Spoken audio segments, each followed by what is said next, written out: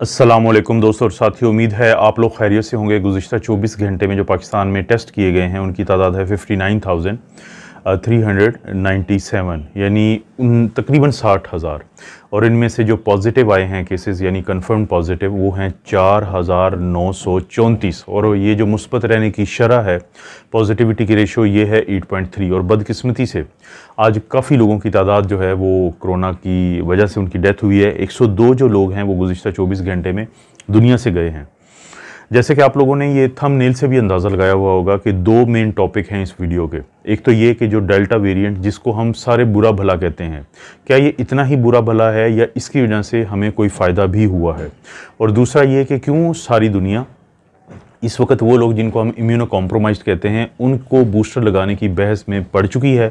اور بہت یعنی جو دنیا کے وہ ممالک جہاں پہ ویکسین کی پروڈکشن ہوتی ہے، ہو سکتا ہے ایک سے دو ہفتے میں وہ اس کے بارے میں ایک بڑا فیصلہ بھی کر لیں۔ تو یہ دو مین موضوعات ہیں ہمارے۔ جو پہلا موضوع ہے ڈیلٹا ویریئنٹ کا یہ جتنے بھی دوستوں کرونا وائرسز ہوتے ہیں، ان میں سے ہر ایک کی جو ہلاکت خیزی ہے یعنی مورٹیلٹی کی ریشو ہے، وہ مختلف ہوتی ہے۔ جیسے دو ہزار دو دو ہزار تین میں جس کو ہم کرونا وائرس ون کہتے ہیں، یا سارز کے نام سے بھی جانتے ہیں، سویر ایکیوٹ ریسپریٹری سنڈروم جب یہ آیا تو اس نے تقریباً آٹھ ہزار لوگوں کو انفیکشن دی اور ان میں سے آٹھ سو لوگ جو ہیں، ان کی ہلاکت ہو گئی۔ تو اس کی جو مورٹیلٹی ہے، وہ بنی دس فیصد۔ اور اسی طرح پھر جب دو ہزار بارہ، دو ہزار تیرہ میں مرس کے نام سے سارز کی ایک اور نسل سامنے آئی۔ مڈل ایسٹ ریسپریٹری سنڈروم، جس میں سعودی عربیہ اور عرب علاقے بہت زیادہ شامل تھے۔ تو اس میں دو ہزار چار سو پینسٹھ جو لوگ ہیں، ان کو انفیکشن ہوئی اور ان میں سے آٹھ سو پچاس لوگوں کی ہلاکت ہو گئی۔ تو یہاں پہ مورٹیلٹی کی جو ریشو بنتی ہے، وہ بنتی ہے تھرٹی فائیو پرسینٹ یعنی پینتیس فیصد۔ یعنی سو کو ہوگی انفیکشن تو پینتیس لوگ مر جائیں گے۔ لیکن اگر ہم جائزہ لیں سارس کووڈ ٹو کا تو پوری دنیا میں جو اس وقت مورٹیلٹی یا شرح اموات ہیں اس کی وجہ سے، وہ ہیں تقریباً ٹو پوائنٹ ون پرسینٹ لیکن اس کے مقابلے میں پاکستان میں اگر ہم دیکھیں تو وہ ہے ٹو پوائنٹ ٹو پرسینٹ تو اس کا مطلب یہ ہوا کہ جو کرونا وائرسز ہیں، ان کی ہلاکت خیزی میں فرق ہو سکتا ہے اور اگر خدا نہ خواستہ کوئی ایسا ویریئنٹ آ جائے ہمارے سامنے کہ جو زیادہ لوگوں کو مارے اور چاہے وہ انفیکٹ کم لوگوں کو کرے، جیسے کہ مرس نے کیا کہ صرف دو ہزار چار سو پینسٹھ لوگوں کو انفیکشن دی، لیکن ان میں سے ساڑھے آٹھ سو لوگوں کی ڈیتھ ہو گئی۔ تو اگر خدا نہ خواستہ کسی دن یہ کرونا وائرس کی میوٹیشن ایسی سامنے آ جاتی ہے، تو وہ بہت بڑا مسئلہ بن جائے گا پوری دنیا کے لیے۔ اب ہم ایک چیز کا جائزہ لیتے ہیں کہ اگر ڈیلٹا ویریئنٹ نہ ہوتا تو کس ویریئنٹ کے چانسز تھے کہ پھر وہ پوری دنیا میں پھیل جاتا؟ تو اس کے ساتھ کیا ایک ایسی نیگیٹو چیز ہے جس کو سمجھنے کے بعد آپ کو لگے گا کہ ڈیلٹا ویریئنٹ کی وجہ سے کم از کم یہ فائدہ ضرور ہوا ہے۔ دوستو، ڈیلٹا ویریئنٹ کا جس سے مقابلہ تھا، الفا ویریئنٹ کے بعد اس کا نام ہے بیٹا ویریئنٹ۔ اس کو ہم ساؤتھ افریقہ کا ویریئنٹ بھی کہتے ہیں، اس کو B dot one dot three five one بھی کہتے ہیں۔ دنیا کے دو ملکوں میں یہ بہت زیادہ پھیلا۔ ان کا نام ہے ساؤتھ افریقہ اور قطر۔ اور اگر ہم ان دونوں کی جو مورٹیلٹی کا جائزہ لیں تو آپ کو حیرانی ہوگی۔ خاص طور پہ قطر میں تو یہ ہوا تھا کہ جب دو ہزار اکیس کے شروع میں بیٹا وائرس وہاں پہ آیا تو اسی وقت میں الفا وائرس بھی تھا۔ الفا جو ہے وہ برطانوی ویریئنٹ ہے، یو کے کا ویریئنٹ ہے کینٹ ویریئنٹ ہے یا اس کو B dot one dot one dot seven بھی کہتے ہیں۔ تو وہاں پہ پھر ایک سٹڈی ہوئی قطر میں۔ وہاں پہ جائزہ لیا گیا کہ اگر مقابلہ کریں کہ الفا نے کتنا نقصان پہنچایا اور بیٹا وائرس یعنی ساؤتھ افریقہ والا وائرس جو ہے اس نے کتنا نقصان پہنچایا۔ تو پتہ یہ چلا کہ کم از کم پچیس فیصد زیادہ لوگ جو ہیں ان کو شدت کی بیماری ہوئی قطر کے اندر بیٹا ویریئنٹ کی وجہ سے۔ ففٹی پرسنٹ لوگ زیادہ الفا کی نسبت زیادہ لوگ جو ہیں وہ آئی سی یو میں داخل ہوئے اور ففٹی سیون پرسنٹ لوگوں کی زیادہ مواد ہوئی بنسبت الفا ویریئنٹ کے۔ یہ میں قطر کی بات کر رہا ہوں۔ اور اگر آپ قطر کی انفیکشن کی اور مورٹیلٹی کی کرو کو بھی دیکھیں گے تو آپ کو حیرانی ہوگی کہ سیکنڈ ویو میں جہاں پہ وہاں بیٹا آ چکا تھا، اگرچہ کیسز کم تھے لیکن مورٹیلٹی یہ شرح مواد زیادہ تھی اور اس کی بڑی وجہ تھی ساؤتھ افریقہ کا ویریئنٹ یا بیٹا ویریئنٹ اب اگرچہ قطر میں بیٹا ویریئنٹ جو ہے، اس کو بھی ڈیلٹا ویریئنٹ نے ریپلیس کر دیا ہے، اس کو بھگا دیا ہے وہاں سے۔ اسی طرح اگر ہم ساؤتھ افریقہ کی بات کریں تو وہاں پہ کم از کم تیس فیصد مورٹیلٹی زیادہ تھی، شرح مواد زیادہ تھی بیٹا ویریئنٹ کی وجہ سے۔ اور وہاں پہ جو سیکنڈ ویو تھی تو اس میں کیونکہ بیٹا زیادہ تھا تو وہاں پہ لوگوں کی ڈیتھ بھی زیادہ ہوئی۔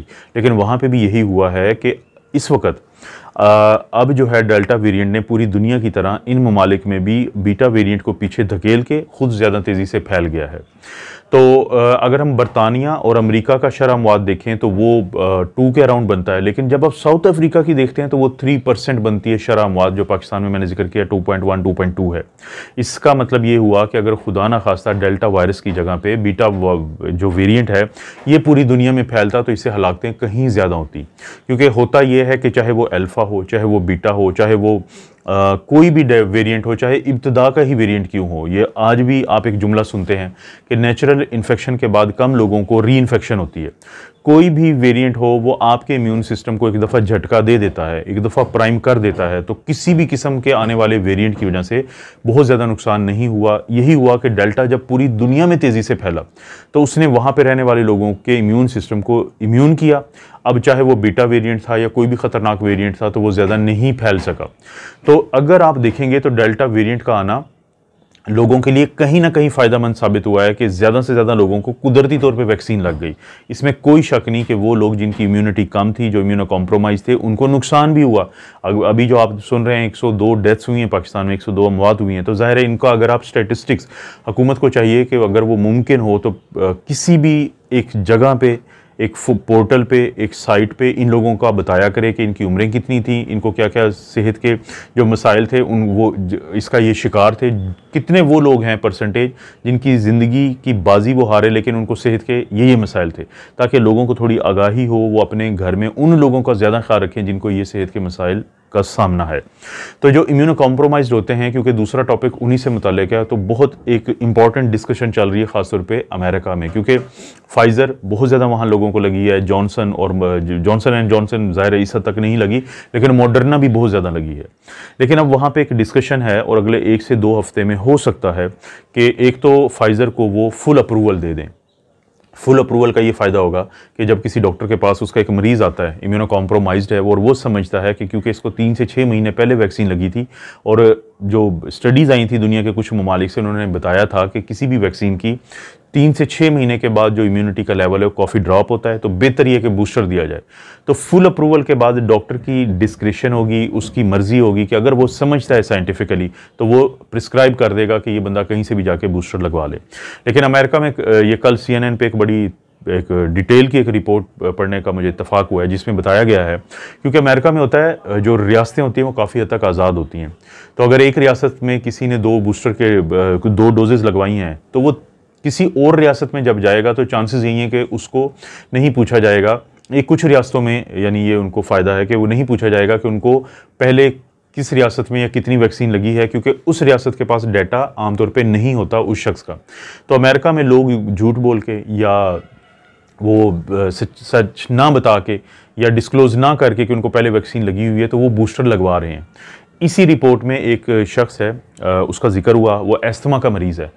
اس نے جب تیسری ڈوز لگوائی تو اس نے واشنگٹن پوسٹ میں، کیونکہ وہ پولیٹیکل کارٹونسٹ بھی ہے، وہ کالم بھی لکھتا ہے، تو کارٹون بھی بناتا ہے پولیٹکس کے اوپر۔ تو اس نے بتایا کہ دیکھیں مجھے ایستھما ہے۔